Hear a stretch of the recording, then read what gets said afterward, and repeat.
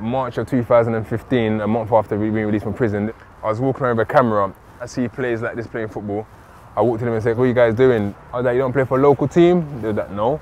I was like, I'm gonna start a football team. They're like, well, I didn't know what the style was. I was wearing bootcut jeans and whatever trainers was, they was all laughing at me like, you can't start no football team. I was like, guys, I'm gonna start a football team.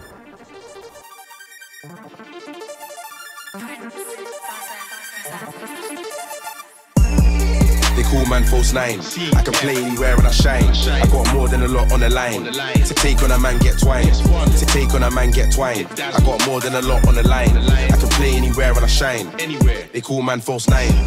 They call man false People laugh at me now when I say Peckham Zidane, but he'll tell you I was one of the best players in Peckham. I, I, I was one of the best players in Peckham. I should have gone on to make it, but circumstances. I remember people used to go and do street robberies. They're like, oh, nah, I'm not involved in that. But everyone will come back with new phones and go and sell them. It was actually introduced by him. My dream, just as any kid today, was I'm going to be a professional footballer. I had no doubts in my mind I was going to make it.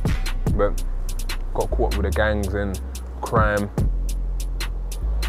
When I was 18, I signed for Ilford. They were playing the Ryman Division 1 in the reserve team at the time, but scoring lots of goals, lots of goals, lots of goals. And then Ashford Town Middlesex signed me in a Ryman Prem.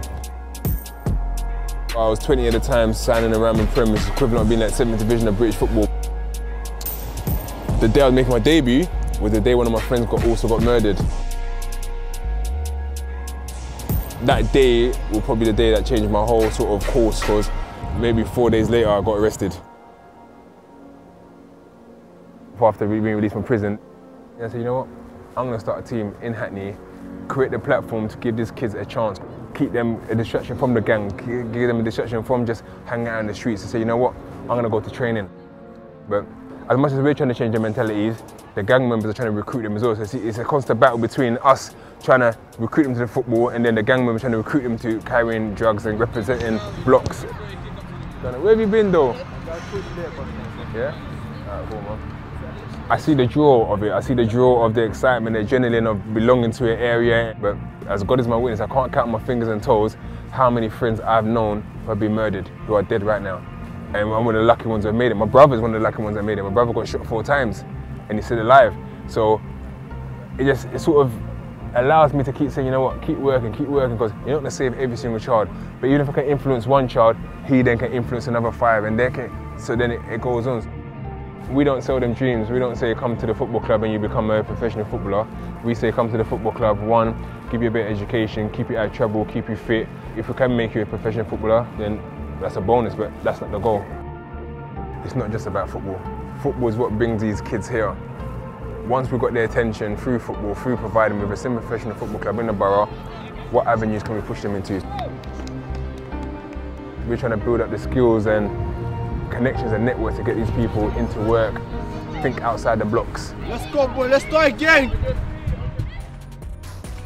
Ernest saying that they said, oh, why don't you get some youth team down? And Ernest said that it's not in his remit to bring through the youth, but his objective is to win and get promoted. I said, I don't, I don't care about promotion. I care about the youth getting in. When I started the football club, I had lots of friends who were coming out of prison and said, oh yeah, I heard you're starting a football club, I want to come and join.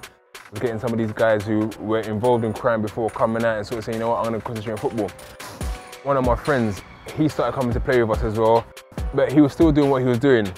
I, am not there to turn a blind eye, but when you come to football, you come to play football. What you do in your other life, I can't really control. I think it was our second game of the season. He was meant to be one of our kits. I think he had the number nine or something. He didn't bring it back. And then we heard that he was on a run because he committed a murder. Things like that sort of thing makes you think, you know what, you need to try harder. Forget just targeting the, the adults, let's target some of these youths. Let's, let's create youth teams so that we change their mentality from age six, seven, eight. This is sort of, sort of the epicenter of where sort of kids come to try to keep out of trouble and I've never really seen any incidents happen over here. Look across there, you've got the Kingsmead estate over there. They don't get along with the guys over there in Homerton, but everyone, when they come over to the pitch, they normally sort of leave all their gang differences behind and just come and play football. No matter who you are, what religion you are, what race, what ethnicity, what sexual orientation, football is a unifier. Going to Hackney Marshes to go and see uh, Bradley. Uh, we owe them a bit of money. So he's going to tell us exactly how much we owe them. I think we, paid them properly for nearly a year, something like that, I don't know.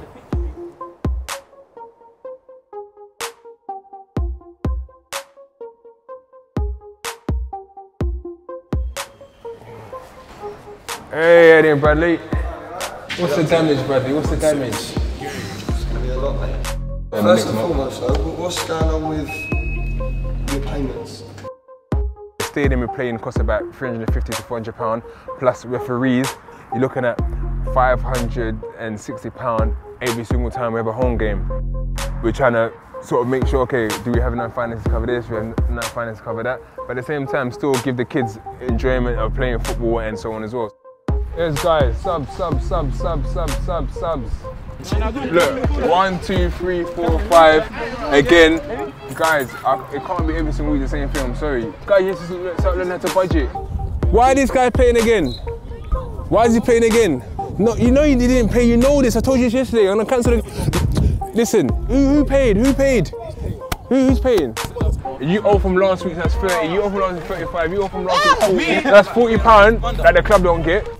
Pitch fees, referees. If they've got issues where they can't pay, I have to tell all them all the time. If, if there's at any point they can't they pay, they'll help the club out in what other way by volunteering. They all know this.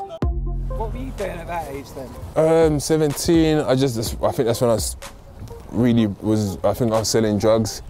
This is the issue I have now. I'm having a go at them and say, the guys, you're not paying your subs, you can't come. Like the club won't run at all if we're not strict. But then the gang member will say, you know what?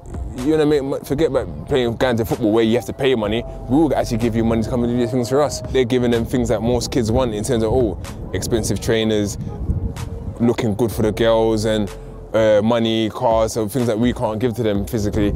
So it's, it is difficult. It is difficult. We're all doing fundraising this weekend. no, guys, I'm actually being serious. I'm not joking around. Cause like, that's like 40, 50 pound the club's gonna have now, and then you guys are gonna like seriously go in, go in, go in. I guys, right? What's up?